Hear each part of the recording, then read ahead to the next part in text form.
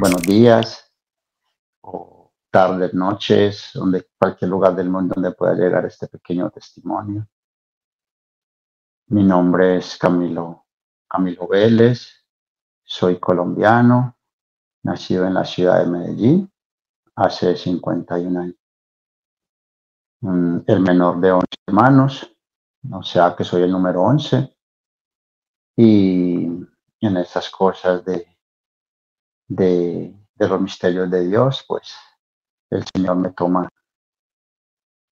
como el último para empezar un camino de transformación y de, conversión. Vengo de una familia católica, mi padre y mi madre pues estuvieron juntos hasta que la, hasta que la muerte los separó de, con 46 años de matrimonio. Pues una familia normalita, donde la fe se vivía pues con, sin conocimiento, pero con amor, con, con transparencia, donde mi madre siempre me transmitió la fe, siempre me dijo lo importante que era ir a misa, de confesarse, de, llevar una, una, una, religiosidad católica pues coherente, ¿no? Con valores, con respeto, con todo aquello que conlleva el nombre de cristiano.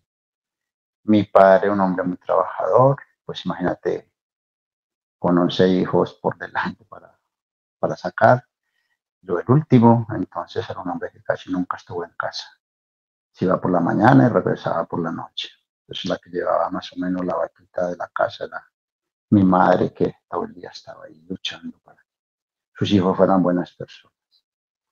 En ese, pues en ese transcurrir de los años 70, yo nací en el año 72, y en ese transcurrir, pues Colombia y Medellín, pues eran, era un país y una ciudad pues con, con demasiadas confusiones, demasiada, demasiados cambios a nivel político, social y, y demasiada violencia de por medio en las calles. En ese ambiente crecí. Mm, pero también de gente trabajadora, gente honesta, gente creyente, mm, como en todas, en, muchas situaciones pues, de muchos países, sobre todo en los países latinoamericanos. En ese transcurrir y venir, pues bueno, empiezo a vivir mi, mi niñez, mi adolescencia, y bueno, poco a poco pues mm, fui creciendo en un ambiente de ver muchas situaciones donde te vas haciendo, pues empiezo a estudiar, pues, la, la, escuela, todo aquello. Y bueno, pues la fe estaba ahí, porque de maneras pues las iglesias y, las escuelas se enseñaba, se enseñaba la religión católica. Y bueno, podíamos pues mantener un poquito la fe hasta empezó a recibir los sacramentos, la comunión, luego llegó la confirmación y las rebeldías pues de, de la adolescencia y de aquellas hormonas ya empezando a estallar. En esa situación pues consigo, eh, consigo una noviecita a los 14 años y empiezo pues mi, relación ya de pareja una, una, mujer de una persona de la misma edad mía. Y empezamos, bueno, una relación. Pues a través de esa relación pues viene ya, tú sabes, el, roce, el cariño, la, la, las rebeldías y, y, buscar ese, ese despertar de hormonas masculinas y femeninas. Y, y bien, llega, entra el pecado a través de una sexualidad desordenada, la primera relación sexual. Y, bueno, entonces a raíz de eso, pues como la iglesia te, te recordaba que tener relaciones en situación, pues era pecado, pues entras en ese pecado y, y empiezas a alejarte de, de, la iglesia por sentirte pecador y la vergüenza de saber que si no podías comulgar y si lo hacías, pues estando en esa situación, pues tenía ese conocimiento a pesar de la cortada, entonces a raíz de sentirme así, pues como estaba tan, tan, tan entusiasmado pues con el, con el tema de sentir ese placer y, y despertar ese conocimiento de esos cuerpos, pues empecé a alejarme, empecé a alejarme, empecé a alejarme y así pues por un periodo de tiempo pues nada, iba a misa, me quedaba en la entrada de la puerta o no entraba o por, ahí, por ese proceso de que el mal empezó a trabajar pues a, y bueno, con esta chica pues estuve en una relación de varios años hasta, hasta que quedó en embarazo por primera vez. Mm, perdimos un bebé. Luego, bueno, juntos, yo seguí mi vida. empecé una carrera deportiva porque tenía muchas buenas condiciones deportivas y me puse a jugar fútbol. Pues como tenía la capacidad y el talento de que era bueno jugando, pues me, me descubrieron en la ciudad ese talento y me llamaron a un equipo de la ciudad y empecé ese proceso. Pues ese proceso me llevó a, a jugar fútbol. Pues antes de todo eso, pues tuve una lesión de tobillo, luego ya llegó ese proceso de, de, de, empezar a ser una persona poco pública, de, entrar un poquito al mundo de, ir a otras ciudades, de, ir a hoteles. Bueno, empezó una vida de, despertar de muchas otras cosas. Y ya eso totalmente fue salir de la iglesia, como, como el mal sabe por dónde, por dónde van las cosas, pues al final te enreda y te mete en esas situaciones. Pues en ese contexto de esa situación, pues viene otra vez la chica, la la madre hoy de mi hija, que no es mi esposa, que eso lo vamos en el proceso que lo voy contando. Entonces queda, queda otra vez en embarazo y nace mi hija Carolina, que tiene 28 años y tiene, tiene, dos, tiene, tiene dos niños que son nietos y ahora está en embarazo del tercero. Pues entonces entra un proceso de, de, de, mucha, de mucha confusión para mí, porque claro, el, el, mundo, ese mundo del fútbol, ese mundo de deporte, pues yo creo, yo creo que eso es igual en todos los países. El deportista, el futbolista que ya está destacando, que está en una vida más o menos pública, pues el centro de mirada de, de muchas situaciones. Yo vivía en un barrio humilde, de un estrato medio bajo y de todas maneras, pues claro, mucha gente te, conoce, te reconoce, pues las chicas te miran y, y, la gente te invita, te saluda, te pasan muchas cosas y tampoco estaba yo en ese contexto de mi vida a nivel emocional preparado para, para sentirme el centro de algo, ¿no? Y eso me llevó, pues claro, a seguir, a seguir en esa vida un poquito confusa de, de, haberme alejado de la vida espiritual, haberme alejado de Dios, haberme alejado de la iglesia, perder los sacramentos, dejar de comulgar y de pronto estaba un poquito más dispuesto a las cosas del mundo.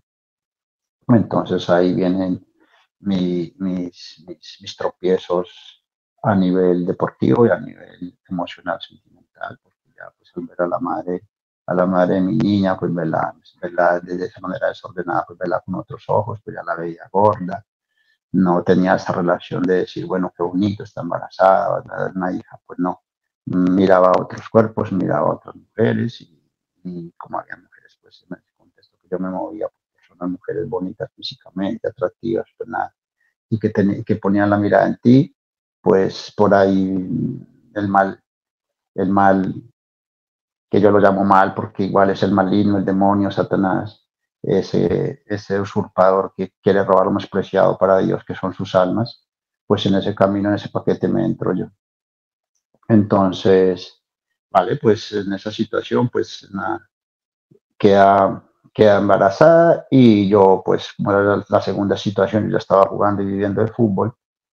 Entre era, tenía yo 20, 21, 22 años, iba a ser 23. No vamos a vivir juntos y, pero por, más por presión de la familia y por la situación que, que por querer hacerlo, ¿no? Entonces, pues, como podía pagar un apartamento, podía acomodarme un poquito por la parte económica, pues dije, pues bueno, vamos a ir juntos, sin estar preparado para dar ese paso, pero bueno, asumiendo como esa responsabilidad de que, bueno, yo soy hombre de la calle, responda por mis hechos, pero no. Nada de eso en el fondo del corazón había, porque no, eso no es la en realidad, pues eso no, eso no llegará a ser hombre pues en ese contexto de situaciones nos vamos a vivir juntos, pero a, a, nivel, a nivel emocional, a nivel espiritual, a nivel de responsabilidad no cambiaba para nada. Yo seguía mi mundo de fútbol y, y nada, pues disfrutando de, de, de, sentirme pues que era un poco el centro del mundo y, y Dios no aparecía por ningún lado. No ha dicho para, para echarme la bendición para entrar a un partido o, o por sentirme en un momento de, de, de, costumbre que, bueno, ya estoy bendecido, pues ya está. Pues mmm, en esas situaciones, entre más o menos en el año 95, había pasado el año yo tengo una lesión deportiva muy fuerte, me, tengo una lesión de hernia discal y, pasó un, año muy malo. Y parece que, me, que el doctor que me opera y los médicos y los, los fisioterapeutas pues me diagnostican que, que quizás sea imposible que vuelva a jugar fútbol a nivel, a nivel profesional, a nivel competitivo. Pues para mí esto fue una caída demasiado profunda, ¿no? con esa ilusión de, de, lo que yo tenía en mi corazón y lo que deseaba. Eh, en esa situación, pues ahora el mundo me cambia un poco y es un año de muchas transformaciones porque mm, es la chica, la madre de mi hija, pues también se cansa de muchas situaciones, me deja y luego muere mi madre, que era más, era pues como el centro mi vida, fútbol, mi madre, mi hija y su, su madre. Claro, me llega un momento de mucha soledad, de, de, muchos, de, muchos tropezones, de sentirte solo porque toda esa gente que te rodea en esa situación, pues es gente del mundo y gente que tampoco llevan a Dios y que lo único que quieren es, es eso, placer, momentos y cosas pasajeras pues sintiéndome así, empieza una búsqueda mía de, de, volverme a reencontrar. Pues la niña tenía, iba a ser, Carolina tenía tres añitos, iba a ser tres añitos, estaba pequeña. Y era para mí, sí, era fue algo muy bonito porque yo sentía en mi corazón que tenía que dar de vida a esa niña, como la habían dado mis padres a mí, ¿no? Lo menos un poco Entonces me puse la, la tarea, la, la, misión como hombre, pues decir, bueno, Mm, pues ahora vamos a sacar adelante a esta niña porque no tiene la culpa de que nosotros pues, no hubiéramos podido intentar hacer nuestra vida pues, por mis errores, por muchas cosas y porque a lo mejor la madre de la niña pues también se había cansado de cosas que no estaban bien hechas. Pues asumo esa responsabilidad y empiezo un cambio, pues pero me recuperé a nivel deportivo, pues estuve un poco mejor, físicamente pues intenté volver a jugar pero ya no era lo mismo, ya con la muerte de mi madre, que es una mujer que me apoyó mucho pues, en, ese, en ese camino deportivo, pues yo pensaba que, que tenía que buscar algo más. Y en esa situación, pues fueron apareciendo personas que te mandan el mal, el mal, el demonio sabe demasiado, y me empecé esa búsqueda de una vida espiritual. Entonces, como él sabe, el mal, el mal sabe que tú estás buscando, pues me metí un poquito en aquel momento, pues en cosas de nueva, de, New Age, ¿no? Yo tampoco entendía lo que era, pero si era un poquito, ya estaba empezando ese despertar de, de todas esas cosas raras que había. Y en, y en, y en Medellín había pues un, un, un sacerdote poquito rebelde, un poco raro, pues que después me di cuenta que todo era, todo era manipulado y todo era una, algo muy, muy disfrazado. Yo tenía una, una, columna que la utilizaba en un periódico famoso de Medellín que se llama El Colombiano y nunca se me olvida porque hasta el nombre me lo aprendí, Gonzalo Gallo González. Y era un hombre que hablaba mucho pues y defendía mucho la comunidad LGTB, en aquel momento tampoco existían esas siglas, defendía mucho a los, a los homosexuales, a los transexuales y todo, y hablaba mucho de todo eso. Pues detrás del fondo pues había una agenda que ahora la vemos en, todo, en este tiempo después de tantos años, mira dónde vamos.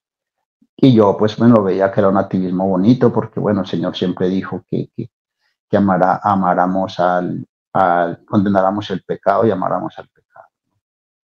Pues de todas esas cosas yo empecé a buscar, a, mirar, a mirar, había un libro que era de él que me encantó porque pues claro, todo está ahí bien, muy bien metido, muy bien disfrazado, y un libro de superación personal que se llama Oasis, y empecé a leer y a buscar un poquito por ahí, pues buscando ayuda emocional y espiritual pues nada, en ese contexto empiezo a sentir un poquito paz, pero esa paz del mundo, ¿no? Bueno, ese, entró el, de pronto el, ego, el egocentrismo un poco más en mi vida, ¿no?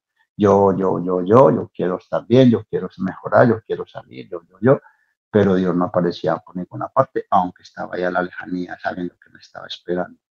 Porque mi madre siempre una mujer que rezó y oraba por mí y siempre me bendijo desde la distancia de que la que yo estuviera, siempre me decía, estoy orando por ti, estoy pidiendo por en, esa, en ese contexto, pues voy, sigo una vida más o menos deportiva, sigo jugando, me voy a otra ciudad a jugar en segunda división y, y me voy a entrenar mucho, pero jugaba poco.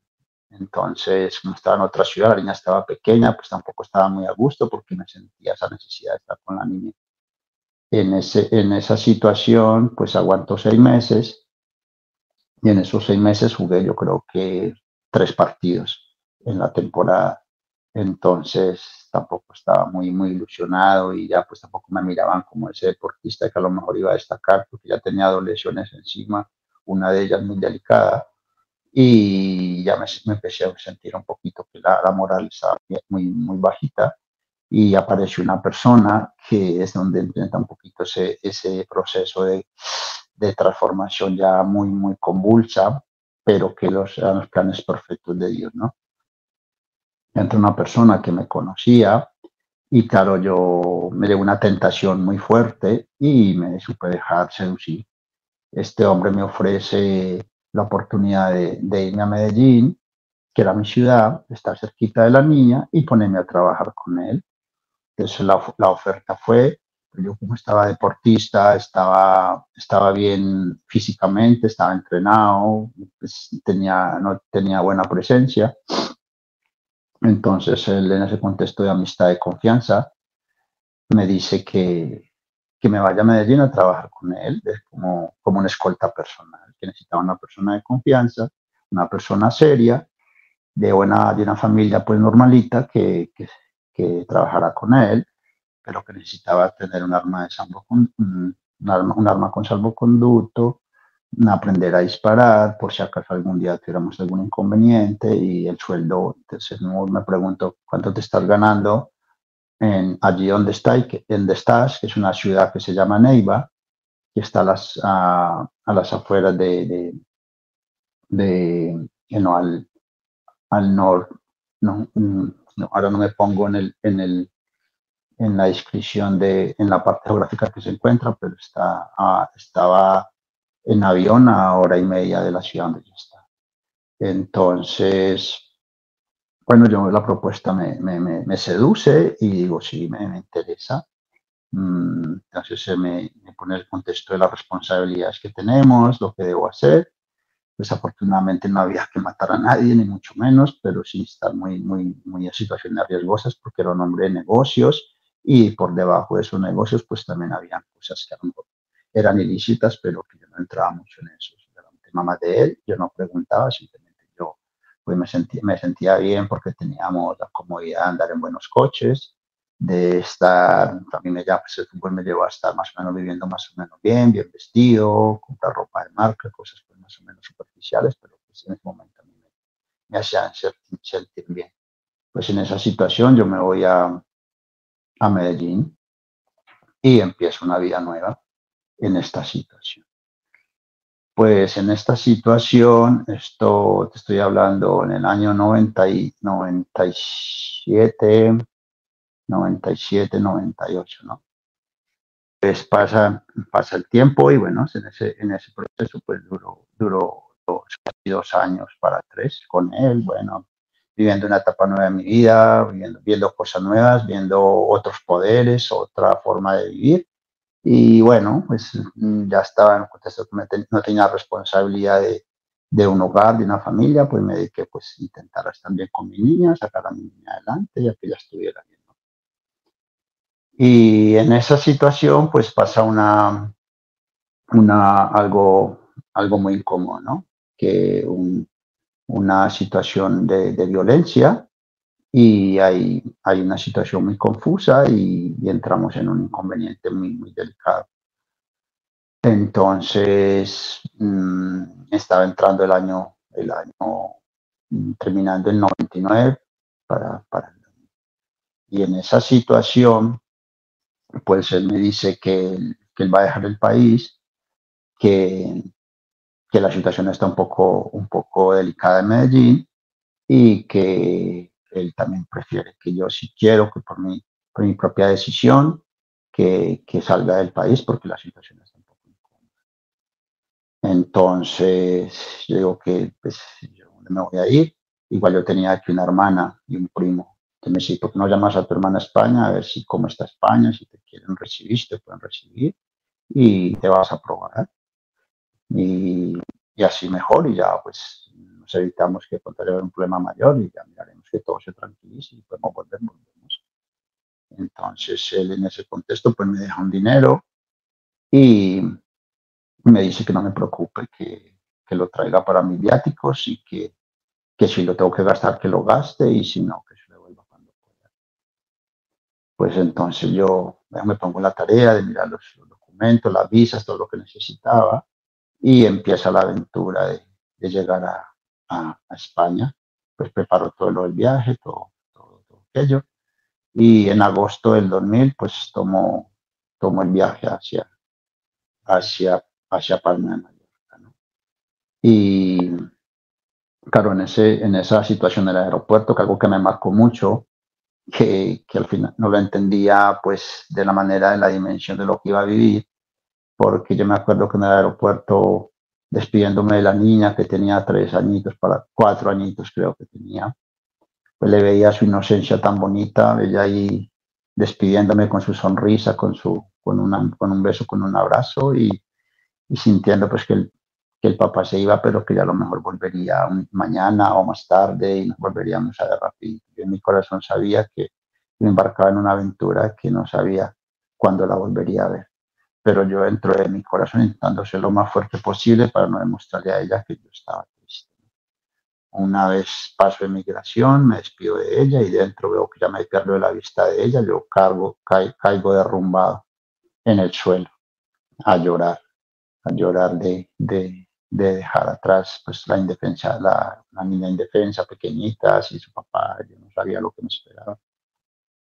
Y yo tenía un reto muy, muy grande que también lo hacía por ella, ¿no? La manera de poder ofrecerle la oportunidad de que ella pueda salir adelante. Y yo económicamente en ese, momento, pues en aquella ciudad, en aquel momento, no le podía ofrecer demasiadas garantías porque no tenía una vida profesional a nivel académico para poder buscarme la vida. Yo dependía más del mundo pues en esa situación llegó a, llegó a España. Y fue algo muy, muy grande, muy providencial el llegar, el llegar a, a Mallorca el, el, 19 de agosto del, del, año 2000 a la una de la tarde, que lo tengo muy presente, y a las 5 de la tarde empiezo a trabajar por una situación que una persona necesitan una persona y la persona que trabajaba en donde me pusieron a mí pues mmm, había fallado y, y entonces una persona que me conocía dijo que ya había acabado de llegar, que era un chico que jugaba, que era deportista, tal, tal, tal, y la persona que estaba ahí en ese cargo en una pizzería de un hotel dijo que le interesaba porque si, que si era una persona que jugaba fútbol era una persona rápida. ¿no? Entonces yo llego, me presento a la entrevista y me preguntan, ah, hola, ¿qué tal? Así, mira, me han dicho que me necesitan alguien para trabajar, así ya acabé de llegar, entonces vete descansa un rato y a las 5 te vienes para acá. Me dijeron que, que, eras, futbolista y que si eres futbolista, pues me imagino que será rápido. Y bueno, entonces yo, me preguntaron que yo qué sabía qué hacer, yo les dije que nada, que yo venía a jugar fútbol profesional y que mm, toda mi, mi, mi vida había hecho era haciendo cosas con los pies, con las manos había hecho pocas cosas. Entonces me dice, bueno, no importa, vete por la tarde que aprenderás. Y, y bueno, me empecé en la pizzería y ahí me, me encaminé a, a, aprender a trabajar hostelería, ¿no? Ya chico me dijo, mira, ponte ahí, empieza a mirar cómo se hace, como una cosa, la otra observa. Y bueno, fue algo que, que me entusiasmó, me gustó y ahí en ese sitio pues me quedé tres años. En ese, en ese tiempo pues estaba, estaba um, ese proceso de aprendizaje, pues y también de llegar a, a, esta Mallorca, a esta Europa, donde te encuentras con, con tantas cosas, ¿no? De nuevo mundo. Aparte, mucha mujer bonita, mucha rubia. Entonces, claro, yo también llegaba morenito, diferente, un poco con esas raíces, con esa, con esa pinta indígena que tenemos, ¿no? Algunos. Entonces, claro, esa mezcla entre esas diferencias, pues a lo mejor se atrae pues entonces vuelves a ser un poquito centro de esas miradas, ¿no? Y empieza otra vez un poquito eso, de sentirte un poco libre, de vivir ciertas cosas y nada, venga el mundo. Pues en el contexto de esa situación aparece la conversión de una manera muy profunda, muy bonita, porque mi padre, que era un hombre muy leído, cuando yo dejé de jugar de jugar fútbol, cuando, cuando yo empecé a jugar fútbol y tuve que dejar de estudiar, que estaba pues en, en, en, bachillerato, me dijo que un consejo que me dio, pues si no vas a seguir estudiando, por lo menos lee, lee, fíjate mucho en, en los libros de superación y me recomendó un libro de la Biblia que él se lo leyó, me dijo que es un libro que te pone mucho los pies en la tierra. Y era el, el libro del eclesiástico. Y en ese libro del eclesiástico pues me, me recomendó una parte donde dice que todo es vana ilusión. Entonces empecé a buscar a leer, entonces leyendo el libro del eclesiástico, pues me, después me, me, me miro el cantar de los cantares, el libro la sabiduría, y empiezo a despertar un poquito pues esas emociones espirituales donde dice, wow, es que aquí hay cosas muy bonitas, ¿no? Entonces llego aquí y, y mi padre me pone, me, me, llama un día, ya estando yo aquí, me, me, coge un día y me llama y me pide un favor de una persona que, que, necesitaba una ayuda porque estaba en Gran Canaria, y necesitaba echar una mano porque se había quedado sin trabajo y a ver si, si yo lo podía recibir aquí en Mallorca. Entonces en aquel momento yo no pude hacerle ese favor, pero sí le recomendé a una persona que lo podría recibir. Y yo le dije, pues simplemente la persona que lo podría recibir, que mi papá me, mi papá me había pedido un favor de ayudar a una persona que porque se había quedado sin trabajo y los en Canarias, y si lo podía recibir, que era de parte de mi padre. Entonces, mira, mira, mira qué cosas tan impresionantes. Te estoy diciendo esto y esa persona justamente ahora está en una llamada. Entonces, como son cosas de Dios, pues mmm, esa providencia siempre está ahí.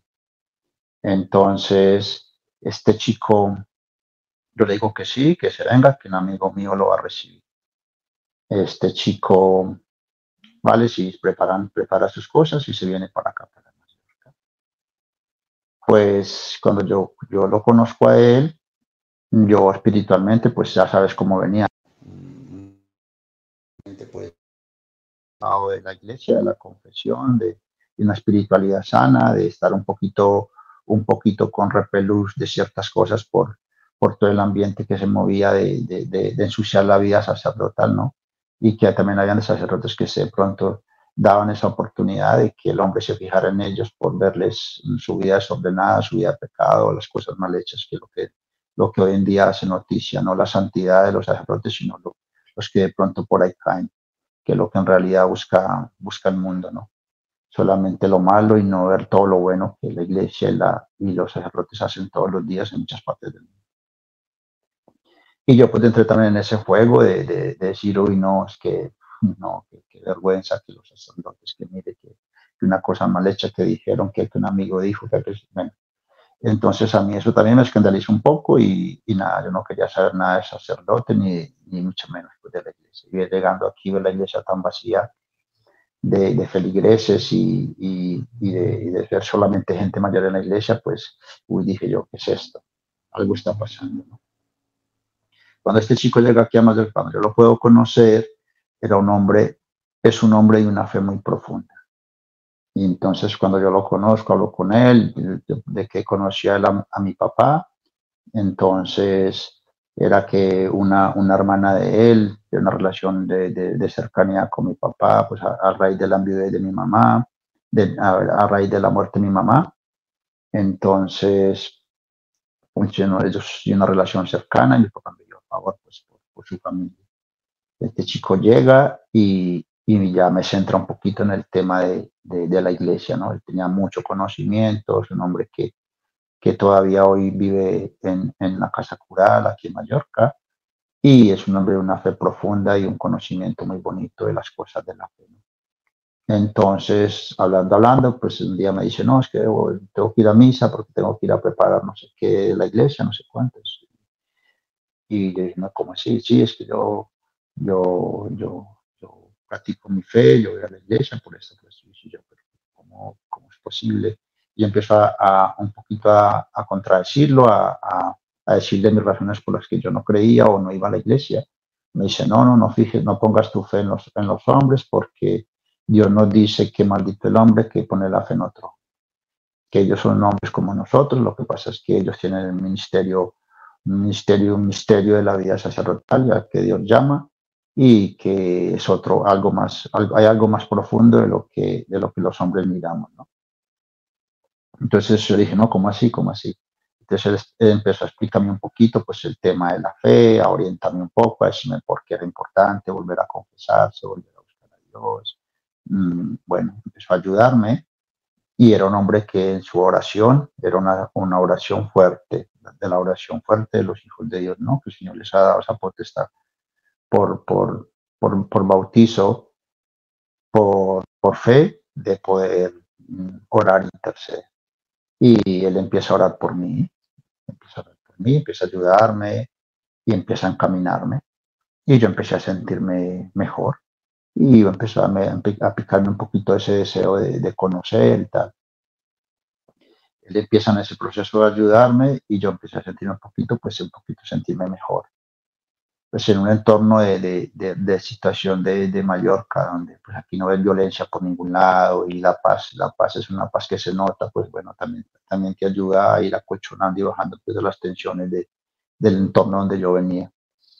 Entonces ahí empieza un poquito empieza ese cambio de sentirme un poco más a gusto y buscar esa ayuda en esa persona que de pronto me puso en esa diosidencia, ¿no? De que llega esta persona para, para, devolverme un poquito lo que se me había perdido. Y ahí empiezo ese proceso de transformación. Él me, en ese ya pasó un, un tiempito, no mucho, tres, cuatro, cinco meses, y él, él me invita a que vaya a un, a un retiro espiritual de, parroquial de, de, de, un grupo que había de, de Juan 23. Mm, en ese retiro, el primer retiro que yo vivo, que fue el primero y que marcó ya ese camino, yo ahí después de muchos años, yo creo que 14, 15, no sé cuántos años habían pasado sin confesarme, yo tengo un encuentro muy fuerte con, con el Señor de sanación, ¿no? Entonces, yo tampoco tenía un conocimiento en realidad lo que era el Santísimo, lo que era la exposición del Señor en la, en la custodia.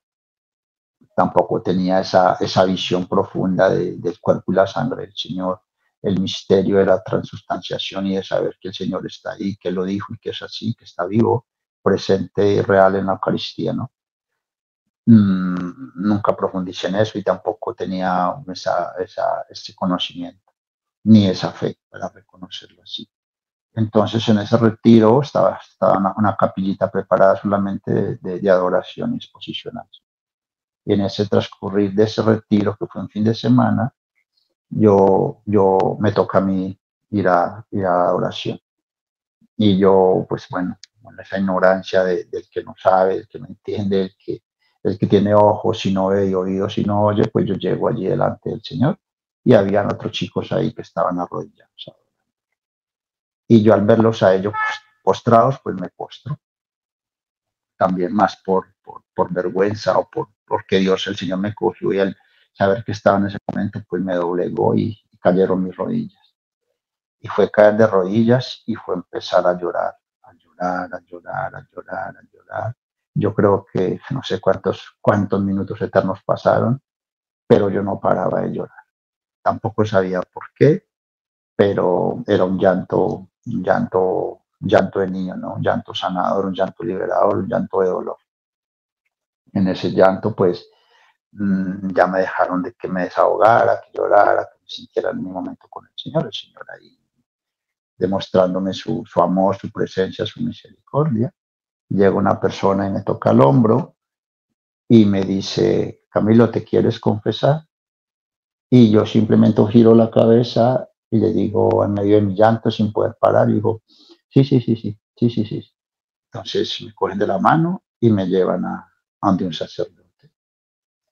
Un sacerdote muy mayor, vasco él. Habían varios sacerdotes en aquel retiro y uno de ellos, un sacerdote mayor, vasco, de barba larga, inspiraba mucha santidad, mucha tranquilidad, sentadito ahí esperándome para mi confesión. Y cuando yo llego día a él, mmm, inmediatamente también estaba sentadito y algo me hizo doblar la rodilla. Yo caí básicamente a rodillas encima de, sus, de sus piecitos. Yo caigo ahí y él me pone la, la estola y la mano en la cabeza y me dice, yo no paraba de llorar, estaba ahí todavía intentando parar, pero seguía con ese llanto, ¿no? Como me decía, y él me, tranquiliza y me dice, mm, hijo, Dios ya te ha perdonado. Si quieres agregar algo en tu confesión, Dios ya te ha perdonado. Porque un corazón humillado y contrito, Dios no lo desprecia. Yo por mi parte, por lo que la iglesia, el poder que Dios me ha dado, el poder sacerdotal, yo te asuelvo de todos tus pecados en el nombre del Padre, del Hijo y del Espíritu Santo el Señor te pide que, que te vayas y que no vuelvas a pecar. Y si quieres agregar algo a tu confesión, si tienes algo que te perturbe en tu cabecita, que te tenga tranquilo, que sientas que me lo debes contar, el Señor está dispuesto a escucharte y a liberarte de todo lo que se ha pasado en tu vida, pero el Señor ya te perdonó. Entonces yo sí tenía cosas que, sentía que necesitaba sacar de mí y me, dijo, siéntate y empezó a escucharme. Y, entonces pasó el fin de semana, eso fue el sábado de las confesiones. Pasó el llegamos al domingo, ese retiro muy, muy enriquecedor, muchas, muchas cosas pues, que tú no sabes, que tú no entiendes y que empiezas a vivir esa espiritualidad nueva. Y, y ya pasa, llega el domingo, yo me sentía con mucha paz, con mucha tranquilidad, me sentía muy liviano, me sentía un poco pletórico y sabiendo que algo estaba sucediendo, algo, estaba, algo se estaba transformando. Llega la, el domingo la humildad de clausura, la misa, y cuando el sacerdote termina, termina la misa, el sacerdote dice algo que, que me marcó y que marcó por, por gracia y misericordia de Dios, pues el día el día de hoy que todavía sigo perseverando en mi camino de conversión cuando el sacerdote termina la misa, en, la despedida dice, bueno, chicos y chicas, para todos nosotros, hemos estado tres días desconectados del mundo, sin teléfono, sin, sin saber nada de lo que está sucediendo allá afuera. Pero el mundo sigue, el mundo no se ha parado y el mundo quizás siga igual o peor de lo que vosotros lo dejaste cuando entraste aquí. Si algo ha cambiado, ha cambiado en vuestras vidas. O sea que si se va a notar el mundo que ha cambiado, ha cambiado en ti. Porque si, te, si tú quieres salir a cambiar el mundo, tienes que cambiar tu vida. Y entonces el mundo cambiará cuando cambies. Wow. Para mí esas palabras fueron un bálsamo para mi alma. Yo me quedé con esta reflexión profunda de decir, wow, sí, que tengo que cambiar yo. Al final yo no puedo aprender a cambiar a nada ni nadie, sino cambiar yo. El cambio tiene que ser en mí, la transformación tiene que darse en mí y tengo que abrir mi corazón a vivir una vida de verdad en Dios y sincera, tiene que ser cambiar mi vida, ¿no? Y ahí empezó pues ese proceso que, que hoy, hoy seguimos en ello, ¿no? Pues ahí empieza, empieza la purificación, porque ya empiezas un cambio y empieza empieza una transformación y unos ataques brutales de Satanás contra mi vida, contra mi, lo poquito que yo había podido lograr a nivel económico y empieza a, a moverme un poco las, las, cimientos de mi vida, lo que yo, en lo que yo había depositado mi confianza, ¿no? En lo material, en conseguir un carro, en comprar una casa, en trabajar para sacar adelante solamente a mi hija, sin darle a Dios. Entonces, en ese contexto de situaciones, pues en el proceso de, transformación, de conversión, empieza la purificación. Era algo que tampoco entendía, pero bueno, yo me imaginé y lo tenía presente que habían cosas que yo había hecho mal hechas y que a lo mejor había dejando atrás, pues empecé a buscar y a mirar cómo, cómo también funciona el mal. Entonces, en ese, en ese, en ese tiempo, pues empieza, Dios me pone un sacerdote, un guía espiritual muy bonito, una persona encantadora, maravillosa, bonito en, en, en todos los sentidos, porque así lo miraba yo, pequeñito, santo, con una espiritualidad fuerte, profunda, de, de, de, de conocimiento, de, oración, de sanación, de liberación. Y, y ahí empiezo pues a buscar ayuda porque me estaban pasando demasiadas cosas, demasiadas, demasiadas cosas. Y casi prácticamente quedarme sin trabajo, quedarme sin dinero, quedarme sin, sin, sin nada, ¿no? Y, y yo, lo último que me quedaba en esa situación, pues era un, un, un rostro del Señor, un, un, rostro que yo había mandado a tallar con unas propinas que me había ganado y que me había costado 800 euros y lo me había mandado a tallar en una cadenita y lo tenía llevado en una cadenita. Y en esa situación, pues lo único, lo último que me quedaba era, era ese rostro, ¿no? Y un día en una, hablando con el sacerdote, le estoy contando que estaba pasando con una situación muy dura, que tenía que pagar unas cosas que no sabía cómo, que me estaba quedando prácticamente nada y que eso me había pasado desde que había empezado este camino. Entonces él me, explica muy bien en profundidad lo de la purificación y de cómo el Señor acrisola al oro y que para él somos esas joyas.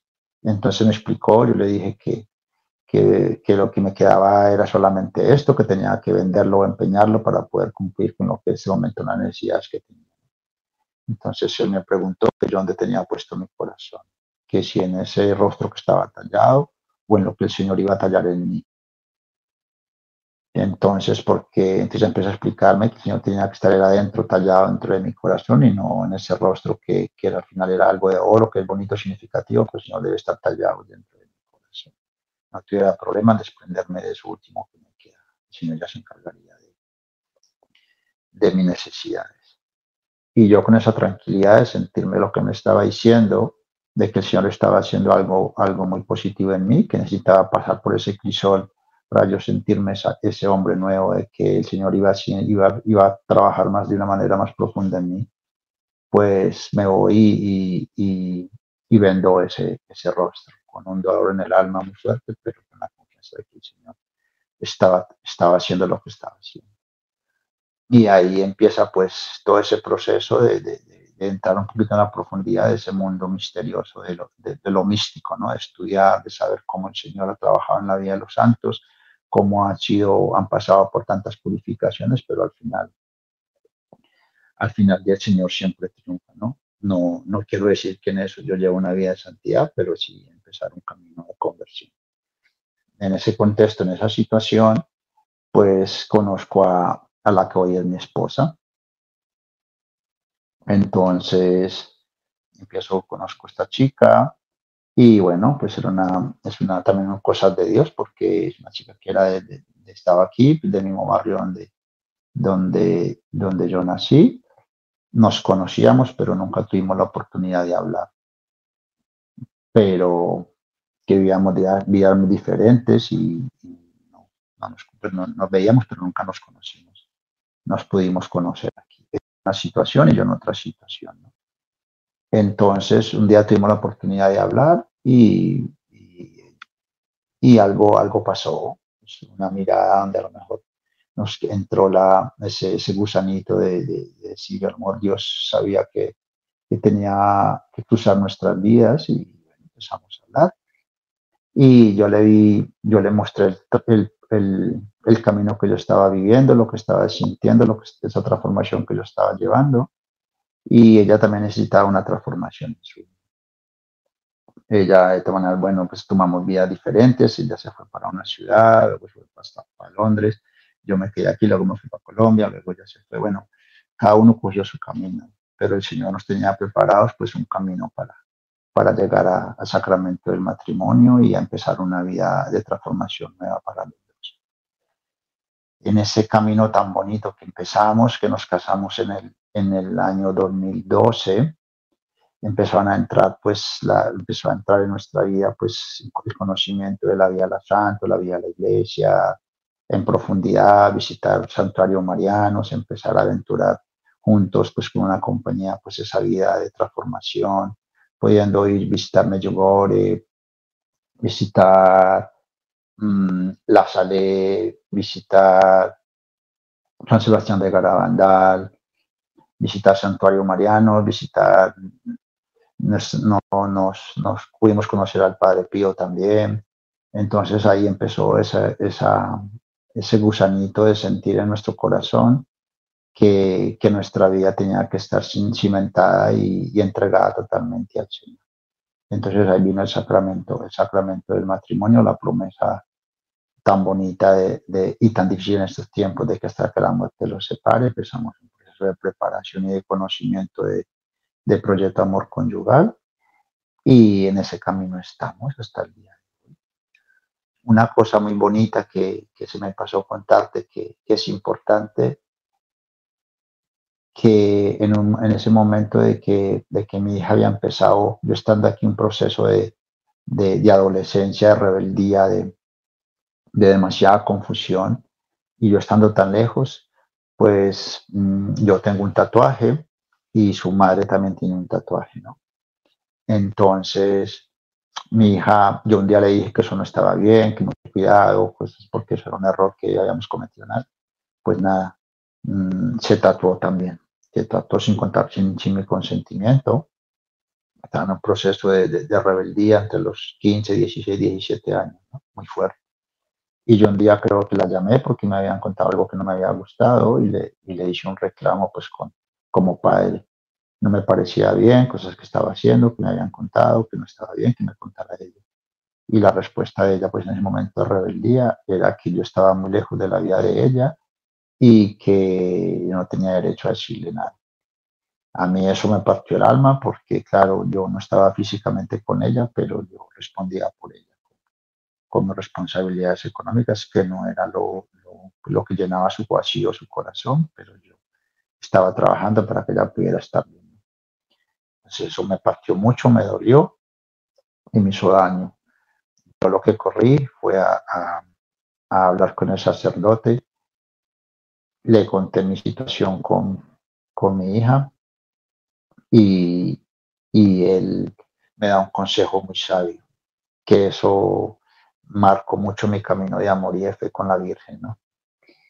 Él me dice, mira, Camilo, lo mejor que debes hacer ahora es no decirle nada a ella, aprender a callar con ella en el silencio y pídele a la Virgen, pídele a la Virgen, pídele por ella, aprende a rezar el rosario y, verás que ella como madre te entenderá y te ayudará y verás que el cambio llegará a través del corazón de la Virgen. Tú pide a la Virgen que la Virgen encarnará. Y yo muy obediente, pues empecé a buscar la manera de aprender a rezar el rosario.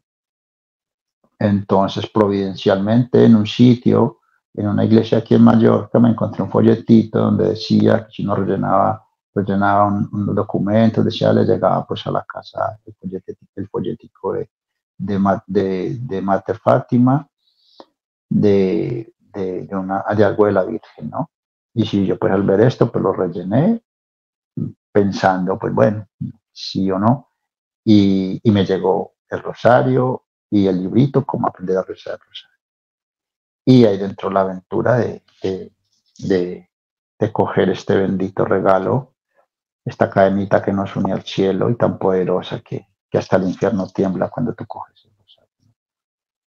Entonces empecé a rezar y esa misma semana que empecé a aprender a rezar el rosario, esa misma semana mi hija me llama a pedirme perdón, a decirme que, se ha portado mal, que no, no, debía responderme así, que, que ella sé que la perdonara, que, que las cosas que iba a cambiar, que la quería cambiar y yo, yo, me quedé así como wow mm, en esa, en esa mente, en esa mente racional, ¿no? En esa mente un poco perdida que, que está buscando, pero no tiene certezas porque no tiene fe, pues tú no vas a relacionar, que es algo que viene de tu oración, de esa búsqueda que tú tienes y que viene algo que viene a través de la Virgen, ¿no?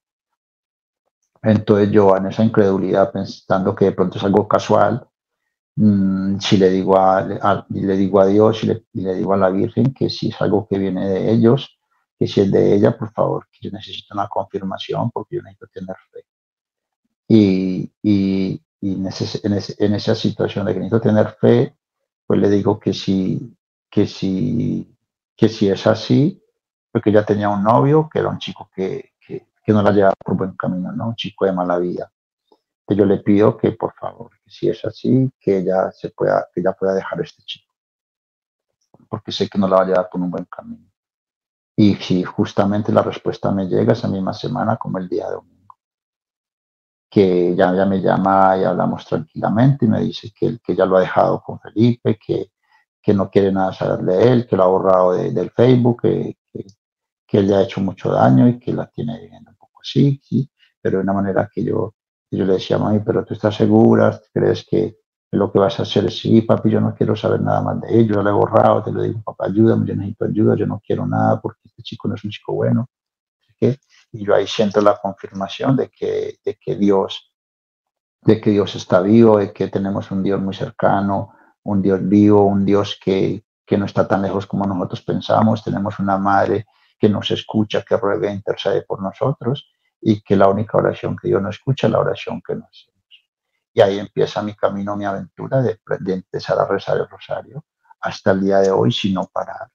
Cada día, cada día, cada día, cada día, cada día. Es una oración que me hace falta, que me tranquiliza y que me, y que me siento que estoy muy unido al corazón de Jesús a través del corazón de la Virgen. Entonces ahí en esa aventura de hoy pues empezó ese camino del de, Señor de, de retomar una vida con Él y de volver a levantarme de muchas situaciones, pues llegar a mi matrimonio, empezar a construir mi hogar, empezar a vivir una vida en Dios. Ya llega la conversión de mi hija, su matrimonio, llegan los hijos, los nietos, los hijos de ella, pues mis nietos. Su conversión de manera muy profunda, es una mujer de fe. Esos niños, el mayorcito tiene ocho años, es un niño que reza en latín, y están niños que ya se han recibido sacramentos, pues él está preparándose ahora para la comunión, el pequeñito ya tiene el bautizo, y bueno, así nuestra vida, pues aquí en nuestro hogar también es una vida de fe, de practicar la fe de una manera coherente, de, de mucho cariño a los sacerdotes, de mucho respeto, de mucha compañía, empatía y ayuda. Siempre nos ponemos a disposición de la parroquia que tenemos a nuestro más cercana, buscando siempre esa, esa verdad y coherencia en la fe que, que practicamos. Entonces, en ese contexto de situaciones, pues al final te van dando cuenta que, que la fe la fe tiene sus días y sus momentos de, de, más, de más, ¿cómo se dice? De más flor, de más florecimiento, de más luz, de, te sientes un poco más, más pletórico y, y más constante en tu vida de, devoción. Y también tienes tus momentos donde a lo mejor tu oración es una oración tan constante, tan fuerte, tan, tan, tan entregada, pero que no te alejas nunca del Señor, ¿no? Que sabes que ya es parte de tu vida y que, que es imposible alejarse de quien todo te lo da. En esa situación, pues aprendemos a, evangelizar, a transmitir, a, a vivir una, una, vida de fe coherente y estar dispuestos a amar a los hermanos para poder amar a Dios. Entonces, en esa situación, pues mira, llegó a, poder, a poder conocer al Padre Felio, el Padre Felio me trae a ti y aquí estamos compartiendo este, este pequeño testimonio pues para intentar llegar a algún corazoncito dispuesto a, a entender que, que, que, Dios está vivo y que, que nuestra fe, nuestra una fe no está cimentada solamente en, en el sacerdote o en la iglesia como estructura, sino en aquel poder del Espíritu Santo que sostiene a los sacerdotes, a la iglesia, como, esa institución divina que Dios ha puesto para que mantenga y administre el depósito de la fe, de la cual nosotros nos hacemos parte. Que la iglesia vive con nuestros pecados y también vive con nuestras virtudes y que está, y que está ahí para decirnos, ven hijo, arrodíllate, doblégate y sal como un hombre nuevo y no peques más. Que si caes, como dice el Señor, si caes 100 veces, pues 100 veces Él te va a levantar. Lo importante es que busquemos en misericordia. Y sobre todo en este momento donde la confusión es tan grande y donde quieren llevarnos a un laicismo y a una religión pues tan, tan, tan, tan light, nosotros intentar mantenernos firmes, atentos y perseverantes en nuestra vida de fe, en las cosas que han sido buenas para la iglesia y que son tradicionales para que no nos dejemos seducir por las cosas del mundo. Porque ya nos han dicho muy tranquilamente y de una manera muy, muy contundente que, que pasarán todas estas cosas, pero que la palabra de Dios no pasará. Pues ahí yo me quiero quedar y mantenerme para que mi, mi, mi, forma de vida, mi testimonio de fe, pues le pueda ayudar primeramente lo más cercano que tengo es mi hija, mi nieto, mi, mi esposa, mi hija, mis nietos y mis seres queridos y cualquier hermano, pariente, amigo conocido que pueda acercar a mi vida que pueda sentir la presencia del amor de Dios a, la, a raíz de, lo que tú transmites, es esa paz y ese, ese respeto por, por las personas, ¿no? Pues en esa situación yo creo, Alba, que es la mejor manera de, de poder transmitir la fe, una fe, una fe con obras, porque como lo dicen los santos y los místicos, Señor, una fe, una fe que no tiene obras es una fe que está muerta y tiende a morir, ¿no? Pues entonces tratemos nosotros de ser trigo, trigo bueno y, no ser cizaña para que el Señor pueda reconocernos el día que Él vuelva en su, en su juicio final y el día que nos toque llegar al juicio particular, si nos llama antes de que Él vuelva. Que así sea para la gloria de Dios, bien de las almas y nuestra propia santificación. Amén. Amén.